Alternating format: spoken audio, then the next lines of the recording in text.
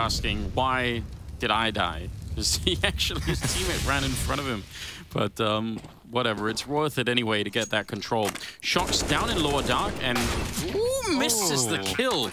Even if he had just stayed alive, that would have been such a devastating turn of events for Big trying to retake the A-bomb site while having to worry about Catwalk. But now they kind of can focus a little bit more, which is kind of a weird scenario. They should have lost this round probably already, and maybe they will anyway. Elige, good spray.